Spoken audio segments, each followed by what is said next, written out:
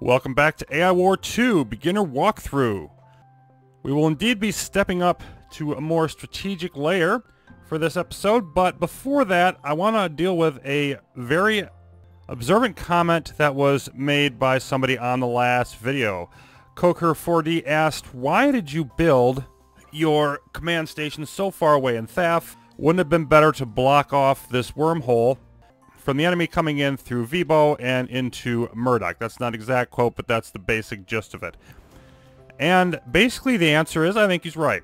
I'm not overly concerned with making small strategic mistakes in this beginner game. But the main reason I did is in AI War Classic, you had long-range turrets to start things off, specifically the spider turrets, which I loved, and the snipers. And so the idea was build as far away from where they come in. You have as much time to attrition them down before they actually get to your command station and blow it up. However, that doesn't exactly apply here. We only have one kind of turret available in this system, the pike turret. Now, the ambush and concussion ones that we built in Murdoch, those are actually part of our guard fleet, which is not in here, of course. So the pike turret, and it's not a hugely ranged one. In fact, if you stick it over here, you can see it just about perfectly covers the range here. So this is a optimal situation. Now, if I can only guard with these turrets against one thing, because I can't guard the command station and guard against them coming into Murdoch. Now, yes, if I put the turrets here and they would still have to go through its path, it would probably be even better to blockade this. How do we make that happen from where we are? And this is sort of a teachable moment as well. You can just go, if you want to change the command station, you can just go click on one of the other types. Let's say I want to change to economic. Do you want to transform it? No, I don't want to do that. I want to move this somewhere else. Command stations can't move. They have no engines. So if you want to actually relocate them, you simply destroy them. Scrap button is here. Or you can see that's the delete hotkey and they give you a prompt to confirm. Yes, Thaf Command Station has been destroyed. Okay, and then we're just going to want to rebuild it. And I'm just going to stick it right behind the wormhole up here, and we'll get defenses set up for that forthwith. But for the moment, let's just head back into Murdoch and get to the real agenda for today. Now, notice the color of the wormhole here. It's would be blue, but it's actually white. That means neutral because we are rebuilding and so we don't actually control that system very temporarily. We will again soon as soon as the new command station is up and running. We're going to head over here to Intel. And this gives you a bunch of sort of big picture helpful things to look at. They're not things you have to accomplish. These aren't like mini missions in the game or quests. They're simply things that are useful to know. Prime objectives at the top. Locate Overlord number one. The most straightforward way to win the war is to find and destroy all the AI King units. This AI Overlord is one of them, and in our case, the only one. And then scout the rest of the galaxy. Always wise to get more information. So aside from defending our homeworld, that's what we want to do. We've got to kill the AI Overlord eventually. And then it gives you other things you can do. There are places to capture more turrets, places to get new fleets, to capture other things. We're going to get into all of that.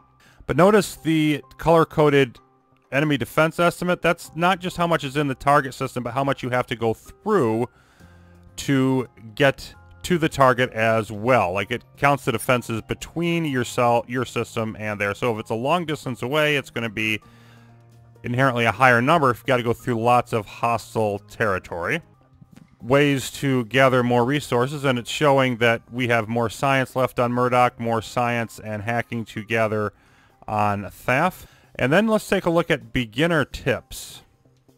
Capture a few planets. You want to capture a few planets early to acquire more science and metal. Not so many as to drive the AI progress up too quickly, though. Typically three or four is a good number. Often the best initial planets to take are those with fleets for improved offensive ability or global command augmenters for improved defenses on them. And those are simply known as GCAs for short. And that's generally good advice. And then it says you should defend Murdoch from waves because of the warp gates nearby. True. Spend science to strengthen your forces. Advice here is to, in general, you want to spend equally between fleet ships slash frigates and turrets. You can get more science by capturing planets or hacking AI planets. So I think the best use of the intel panel is just if you get stuck, if you don't know what to do. The more experienced you become with the game, the better you become at the game, the less you're going to need it. But you can see at a glance where all of the things are. Like just for example, the, you know, the GCAs, Global Command Augmenters. Let's say you had decided you wanted those. Well, you could just go in here and say, oh yeah, okay, that's right. Those were on Shinda and Wolfram. And then you know where to go to get what you need to have done accomplished. And it's actually even better than that because as we'll see in a bit, if you right click on any of these, it will take you to that location on the galactic map. You don't have to go there and just hunt around for the system. It'll take you right there and then you can get that accomplished. But let's take a look at science first. And that's over here in tech, the T key. And we've got this nice big list of things. And this works very much differently than in the first game where you sort of had a discrete one-to-one -one relation. Let's say you decided that you really liked a certain type of starship or you really liked your bombers or your fighters or whatever and you really wanted to use them a lot in this particular game. You simply put in whatever investment of science you needed to upgrade them to the next level and then you would have more of them and also a more advanced version of them there's a lot more strategic thinking required and a lot more combined considerations that go into research in AI War 2. One thing to keep in mind is there's a mark system still in place. For example, if we take a look at our station keeping assault frigate here, and you see it says Mark 1, and those are the stats for Mark 1. Every ship type, turret type, etc., your combat forces a mark level of 1 through 7, and that just generally describes the quality of it. They're also color-coded. Mark 1 and 2 are fairly close together. Mark 3 is fairly respectable. Mark 4 is quite solid, and then Mark 5 and up are definitely a force to be reckoned with. And it's all relative to the type of unit it is. I mean, having a Mark 7 drone is not going to mean that you can take it and it's going to destroy a guard post by itself. It is in general a good synopsis of the capabilities of your fighting forces if you have a general idea of what mark level they're at and if you see something that you're going to attack that's a much higher mark level than you have that's problem and you really need to take that into consideration. How that plays in here is each of these weapon techs will upgrade specific units that use that particular weapon type to the next higher level mark. And it doesn't just upgrade the weapon. It upgrades various aspects to get to the next level. The hull types also do the same. And if you notice, you've got to upgrade six times to get from 1 to 7. And so you've got each of the weapons can be upgraded four times, but they're cheaper because they don't affect as many different units. And the hull types are more expensive, but and you can only upgrade them twice but they will affect more unit types. Now if we take a look, for example, here at the light hull, you can see it affects the Concussion Corvette, Station Keep and Watchman Frigate, and the V-Wing, and then there's other ships at the bottom, Raider, Raptor, and Siege Frigate, that we could capture, and it would also impact them. Whereas some of these up here, see Technologist affects nothing that we have and only a couple that we can capture. Uh, the melee is the same, like the Concussion would give us the Corvette and turret, so what this does, this whole system does, is a number of things, but it gets rid of rigid build orders. You can't go into the game and know before you start, well, I always start with these ships, I'm going to want to get these upgrades, etc. That's not going to really fly because you don't know what type of capturable fleets and turrets you're going to have out there in the galaxy, and therefore you don't know which of these upgrades are going to work the best for you. Now, in saying that, I realize that's not for everybody. From what I have seen, it's the single most criticized part of AI War 2 compared to the original, especially from people who played the original. And I don't have a problem with criticism of games I like, but they've criticized the fact that they like the rigid build order. You know, people say things like, look, I used to pick a planet with the sniper bonus ship type, and then I would upgrade my bombers right away, and then I knew I would be able to knock out enemy defenses quickly. And, you know, that was a very viable playstyle. I think it really comes down to, do you like replayability through randomness, or do you like replayability through customization? And AI War 2 has a lot of both, but for a significant minority of people, it's been sort of a bridge too far, you know, that the whole fleet system and tech system just combined to take that control away from them. And I think it's much better if you have what I consider to be significantly greater strategic depth in this game for this aspect because you have to adapt to what the Galaxy gives you. I mean, you've still got plenty of startup options. It's not like you have to stick yourself in a super tough situation. Here we are playing a difficulty 4 AI that we're expecting to raffle stomp all over the galaxy. But it is worth noting that's a criticism that's out there, and from a certain playstyle perspective, yeah, it's valid. Another thing that I want to just highlight real quick, and I think this is just a brilliant piece of design. In the original AI War, it got a little fiddly to compare the different mark levels of ships. You have to remember what the numbers were, and there's so many numbers in the tooltips and compare and contrast. Let's go back to the light hull we were looking at, at earlier. And if you look down at the very bottom in the blue, it says hold C and click here to view details on all the ship types upgraded by this tech. And there we go doing that. And it talks about how much science you need up there, etc., etc., etc. And then you've got all the comparisons down here. And let's just take a look at the concussion corvettes. And this tells you what your cap's going to be for every fleet that has them. And you've got, I mean, this is the strength value goes up from 0.03 to 0.04. The hull goes up. The shield goes up. A lot of this stuff stays the same. The damage goes up. Range is still the same. And we actually get 10 more of them. So we've got a 25% increase in the number, and also each individual ship is more effective. Pretty much every building in the game that I found that you can acquire new ships or new turrets, you can do that. You hold C, you click on it, and it gives you this big detail. This is exactly what you're getting if you do this. And it even gives us the same thing for the ones that we could capture that we don't even have yet.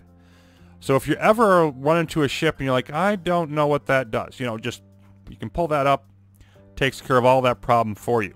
Especially when you're first learning, keep a few thousand science in the bank so that you can adapt to changing conditions. You don't want to get in a situation where you're out of science and you need to upgrade something because your defenses aren't holding or you can't break through this next system and not have any science to invest in it. That's the weapon and hull upgrade types.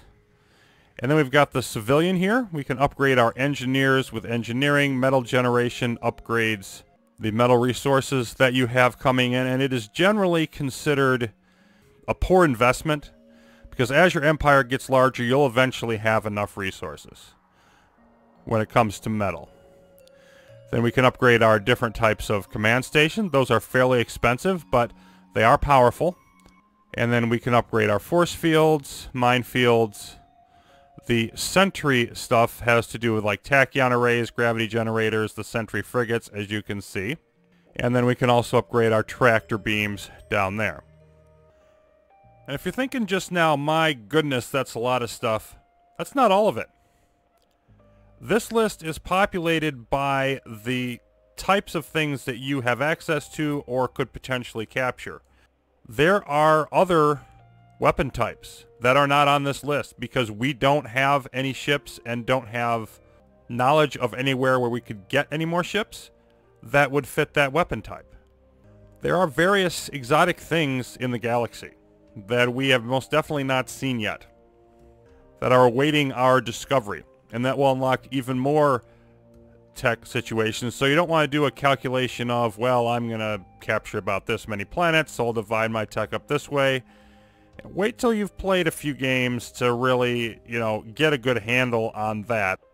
For today's final subject to cover, we are, believe it or not, actually going to go to the galactic map. Yes, finally.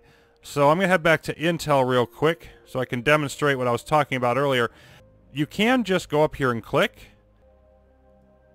on the planet name, or you can hit the tab hotkey. But instead, I'm going to say hypothetically, let's say we were going to go capture the GCA on Shinda. We're actually going to do that. You can see the different structures it would give us, by the way. Right click. Ta-da! Turns out that's one of our neighbors. Okay, we're going to zoom out here and you've got the same, you know, drag control that you do on the planet map. And notice you can still see all of this information. They really did a lot of work in improving the galactic map late in development and I think it really helped. Now, at the start of the game, what we had explored was this. This section right here. And all the other ones that are red around it, here, here, here, here, here, those we got as a result of capturing Thaf, because that is the primary way of scouting. You capture new planets and you gain, through whatever method you may perhaps like to invent, sensor logs, whatever, knowledge of more planets further out in the galaxy. Now, the entire galaxy is 100 stars in this case. And we can see Thaf currently neutral, so it's yellow. The red is the AI, and of course the blue is us. And if you look at the wormholes, the fact that we don't have this captured gives us a bit of a sight on how these paths work. And I should be noted, you can't just travel from like Murdoch to Vibo. That doesn't work. You can only travel via the wormholes, which means you can only travel in the star lane paths or whatever you wish to call them. So the dotted lines are basically like hostile wormhole connections. And then if it's solid, that means it's not hostile.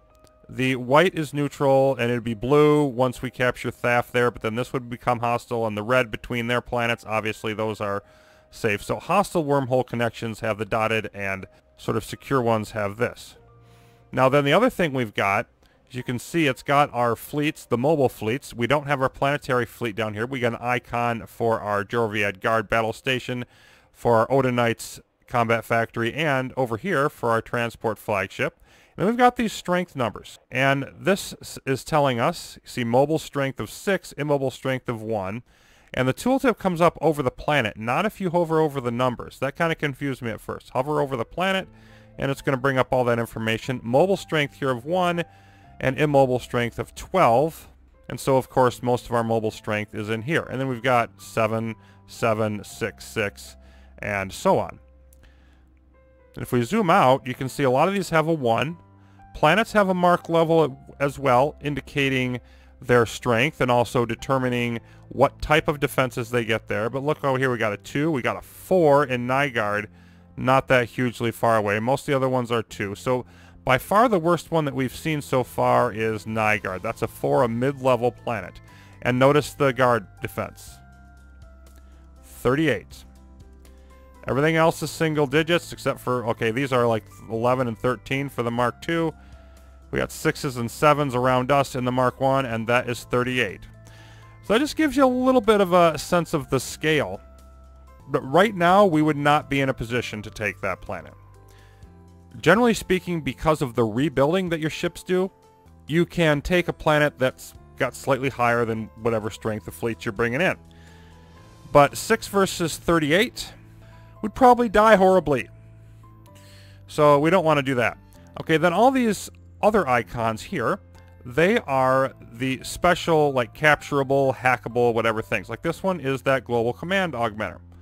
And then over here, we actually already captured this. There's an advanced research station. We can hack that. And if we just press the C again, there we go. And it's going to tell us all about those parasites that we could potentially get there.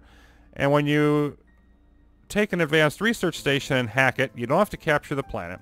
But you have the three options down there you can see in the tooltip. You can grant the ship line, which means we get those parasites, and they will be added to whatever fleet did the hacking. We can re-roll the contents of it, and that would give us a different ship type to choose from, or we can simply hack it and simply get raw science from it so that we can do more research on our own. So there's usually multiple options with those. If you look at the global command augmenter, it says to claim this, you must control the planet. It will cost a thousand metal. On the other hand, you do also have the hack command augmenter option down there as well. And over here, Vazirani has a new fleet that we could claim. And for these, there's no hack option. You capture the planet, it's going to cost 50,000 metal. You can see it says Fleet Strike Dinant there at the bottom. So we can see that the blue icons are our fleets, the white ones, gray ones, whatever, are capturables, and then there's these, the ones that are the color of the AI, and those are destroyables. And the ones we have available right now in both Vazirani and Thaf that I've been studiously avoiding mentioning until now are the distribution nodes. And you can just see down there in the tooltip, AI progress will rise by one if this dies. And if we if the player kills this unit, meaning we don't get this if something else kills it, that's important, particularly in more complicated scenarios, they get a thousand science and also 20 hacking points. It's not a huge benefit. I think for one AI progress, it would be very much well worth it. But on the other hand, you'd want to be careful because if you went around slaughtering the galaxy, slaughtering a whole bunch of these, you know, you could drive your AI progress too high and then you could run into trouble. So never do those things capriciously. So we should have a much better handle on things now. We've seen the Intel tab where we can go if we get stuck. It gives us all kinds of ideas on what we should be targeting. There's still lots of capturables and destroyers we haven't gotten into yet. We've seen the tech panel, all of the technology options that we have, and we can invest our science there whenever we wish. And we have a basic idea of what's going on on the galactic map. So moving forward, I'm going to be proceeding with the plan to surround our homeworld with friendly systems so that we are at least vaguely well defended. And we'll be picking up the research station, GCA, and the new fleet in the process. And then we'll just sort of see where we stand from there. But we should be in fairly good position to do a little bit less exposition and a little more action going forward. And someone did mention in the comments they're interested in seeing hacking and all that, that's going to be happening in the next episode as well. Thanks for watching, everybody. I hope you'll stick with me for that. AI War 2 beginner walkthrough will continue.